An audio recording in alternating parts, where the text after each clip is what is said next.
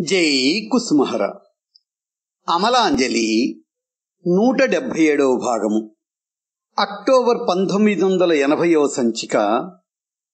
ఈ సంచికలో ఒక శీర్షిక నిత్యకృత్యాలు. చిన్ని కన్నయ్య గోకులం నుంచి కొంత దూరం అవతల యమునా నది ఒడ్డున ఆడుకునేందుకు పోతున్నాడు. అక్కడ తడిసిన ఇసుకలో పాదం పెట్టి దాని మీద బాగా ఇసుక పోసి తపతప కొట్టి మెల్లమెల్లగా పాదం లాగేసేయడం. అదొక గూడుగా తయారు కావడం చూచి కన్నయ్య చప్పట్లు కొడుతూ ఇదిగో మా ఇల్లు మా ఇల్లు అంటూ ఎగురుతున్నాడు. ఇసుకతో ఎద్దులు దూడలు ఆవులను చేయడం ఇళ్ళు వాకిళ్ళు తయారు చేయడం ఈ ఆటలే కాక గిల్లీకర్ర ఆట దాగుడు మూతలాట ఇలా ఆటలాడు. ఒళ్ళు మరిచిపోతున్నాడు. అమ్మ చేసే పనులన్నీ ఈ ముద్దుల బిడ్డల కోసమే. తెల్లవారుజామునే లేచి మధ్యాహ్నం వరకు రకరకాల వంటకాలు వండుతుంది. ఈ నల్లనయ్యకి బాగా ఇష్టమైన పదార్థాలు కొంచెం ఎక్కువే చేస్తుంది.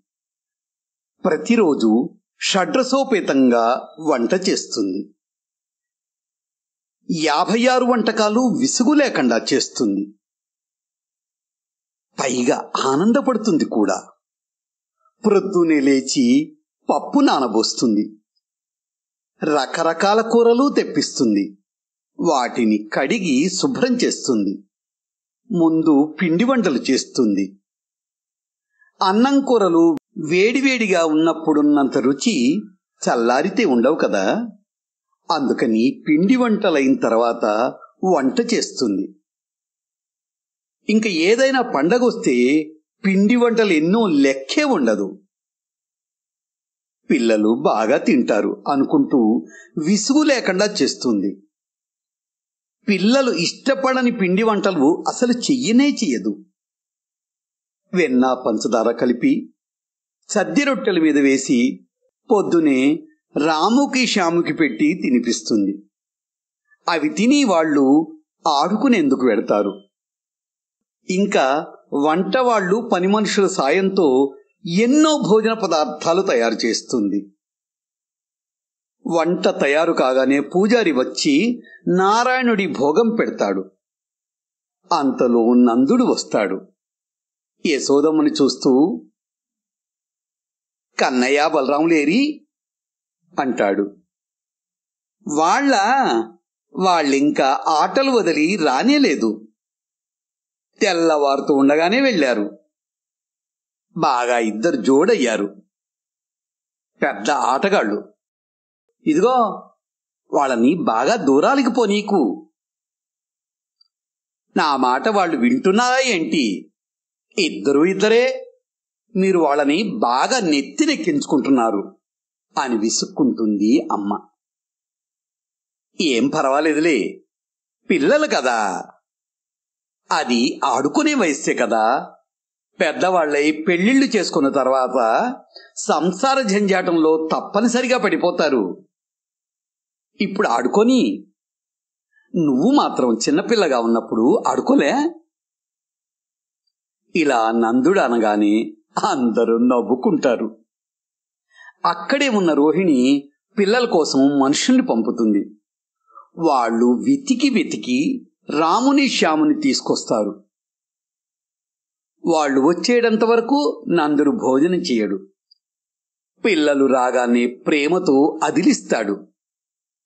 అరే మీరు తిరగడం బాగా నేర్చారా చూడండి ఎంతసేపటి నుంచి మీకోసం కూర్చున్నాను? ఇంతసేపు ఏం ఆటలరా? ఆకలిలే? వెంటనే కన్నయ్య నాన్న నాన్న ఇవాళే మేము అక్కడికి వెళ్ళాం అక్కడే ఇన్నిన్ని ఎర్ర పళ్ళు కోసుకుని తిన్నాం. ఒరేయ్ ఆ పళ్ళు కోయకండిరా. అవి ముళ్ళ పొదలు. ఆ ముళ్ళు గుచ్చుకుంటే బాగా నొప్పి పెడతాయి. మన ఇంట్లో ఊరగాయ ఉందే ఆకాయలదే. అవి పండి ఎర్రగా ఉంటాయి. అవి తింటే ఎక్కిళ్ళొస్తాయిరా. తినకండి. సరే పదండి. అన్నం తిందాం. అంటూ నందుడు ఇద్దరిని పట్టుకొని అన్నాల దగ్గర కూర్చోబెడతాడు. ముగ్గురు హాయిగా భోజనం చేస్తారు. నందుడు చిన్ని చిన్ని ముద్దలు చేసి బలరాంకి శ్యాముకి నోట్లో పెడతాడు. కన్నయ్య కూడా తన బుల్లి బుల్లి చేతులతో అన్న ముద్దలు చేసి నాన్న నోట్లో పెడతాడు. ఒక్కొక్కసారి పరమాన్నం తీసి నాన్న గడ్డానికి పుస్తాడు. నందుడు పక్కపక్క నవ్వుతూ కన్నా నువ్వు బహు చిలిపివాడివిరా అంటాడు. ఒక్కొక్కసారి ఆటల నుంచి బహు తొందరగా వచ్చేస్తారిద్దరు. అమ్మా బాగా ఆకలిస్తుంది రొట్టెలు పెట్టు అని రాము శ్యాము గోల చేస్తారు. అయ్యో ఇంకా నారాయణుడి నైవేద్యం పెట్టలేదురా. పూజారి గారు వచ్చి నారాయణుడికి నైవేద్యం పెట్టకుండా మనం తింటే కళ్ళు పోతాయమ్మా అంటుంది అమ్మ. కన్నయ్య పూజారి దగ్గరికి వెళ్ళి పూజారి గారు నైవేద్యం పెట్టండి మాకు ఆకలిస్తుంది. అంటూ తొందర పెడతాడు. ఇంతలో నందుడు వచ్చి పిల్లల్ని బయటికి తీసుకెళ్ళి ఆడిస్తాడు. ఆకాశంలో పక్షుల్ని చూపిస్తాడు. కన్నయ్య అరచేతిలో బలరాము అరచేతిలో వెన్న పెట్టి రొట్టె పెట్టి ఆట ఆడిస్తాడు. కన్నయ్య చేయి జాపి నాన్న నా చేతిలో పెట్టు అంటాడు. అప్పుడు నాన్న కన్నయ్యని ఒళ్ళో కూర్చోబెట్టుకుని ఆ బుల్లి అరచేతిలో వెన్న పెట్టి రొట్టె పెట్టి కూర వేసి పరవాన్నం పోసి అంటూ ఒట్టి చేత్తో ఏదో పెడుతున్నట్లు పెట్టి తినిపించి ఒక్కొక్క వేలు పట్టుకుంటాడు. ఈ వేలు నాది. ఇది అమ్మది. ఇది అన్నయ్యది.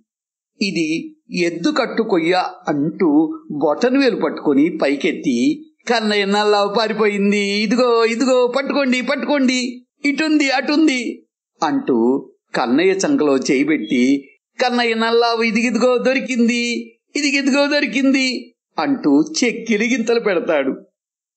కన్నయ్య దొర్లి దొర్లి నవ్వుతాడు. మళ్ళీ ఇంకో చెయ్యి జాపి నాన్న ఈ చేతిలో విన్నపెట్టు అంటాడు. ఇంక రేపు పదండి.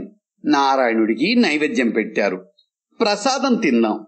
అని నందుడు పిల్లల్ని దొడ్లోకి తీసుకెళ్ళి కాళ్ళు చేతులు ముఖం కడిగిస్తాడు. తర్వాత అందరూ భోజనం చేస్తారు. హరసూక్తి. కృష్ణుని బదలి ఇంకొకరిని ప్రేమిస్తే నీకు నిశ్చయంగా దుఃఖమే కలుగుతుంది.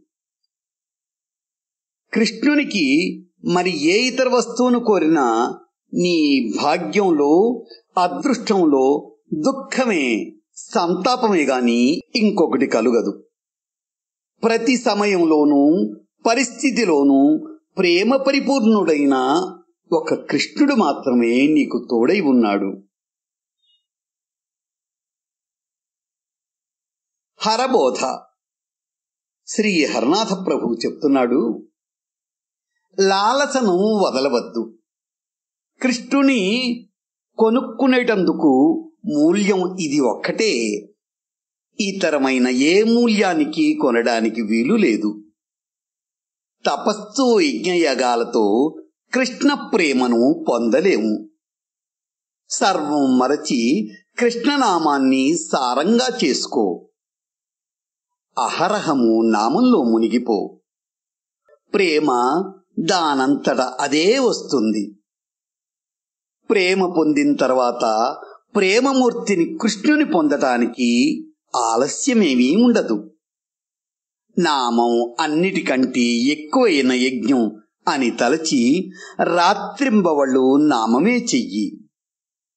కృష్ణనామం ఉన్న చోట పుణ్యతీర్థాలన్నీ నివాసం చేస్తాయి. ఎక్కడ హరిని గూర్చిన చర్చలు వినిపిస్తాయో ఆ స్థలం గుప్త బృందావనమని ఎంచుకొని అక్కడికి పో. ఎవరి సాంగత్యంలో కేవలం హరి సంభాషణ వినబడుతుందో వారి సాంగత్యమే వాస్తవమైందని ఎంచుకో. హరి సంభాషణ లేని స్థలాన్ని నరకంగా చూస్తూ వదిలివెయ్యి. కృష్ణ కథలు వినబడిన సాంగత్యం దుర్జన సాంగత్యంగా ఎంచుకొని వదిలివెయ్యి. ఆకలిగొన్నవానికి ఒక ముద్ద అన్నం పెట్టడానికి సిద్ధంగా ఉండు. భరింపరాని శబ్దాలతో ఎవరి మనస్సును కష్టపెట్టకు. ఎల్లప్పుడూ అందరికీ శుభమే కలగాలని కోరుకో. ఎప్పుడు ఎవరికి అరిష్టం జరగాలని ఆలోచించకు. పాపి పట్ల ద్వేషం పెట్టుకోకు. పాపాన్ని ద్వేషించు పాపి పట్ల దయాదృష్టిని పెట్టుకో. నీచపు పని కంటే నీచపు ఆలోచన పట్ల భయం విశేషంగా పెట్టుకో. వర్షాకాలంలో చెరువును నింపి పెట్టుకుంటే వేసవిలో నీటి కోసం దుఃఖించే పరిస్థితి ఉండదు. నీ దాహంతో పాటు ఇతరుల దాహం కూడా తీర్చగలవు. మరో శీర్షిక ప్రభువు ప్రభువు నదీ ప్రవాహానికి అడ్డు వచ్చిన మహావృక్షాలు సైతం వేళ్ళతో సహా పెళ్ళగించుకుపోతాయి. ప్రవాహానికి ఆ శక్తి ఉంది. అలాగే ప్రభు నీ ఇచ్ఛా ప్రవాహానికి అడ్డుకొని నేను నా ఈ మహావృక్షాలని వ్రేళ్ళతో సహా పెళ్ళగిలిపోని నీ ఇచ్ఛయే మిగలనియ్యి. ప్రభు నీ నామస్మరణలో నీ ఇచ్ఛలో ఈ జీవితం లీనమైపోవాలి. జై కుసుమహర.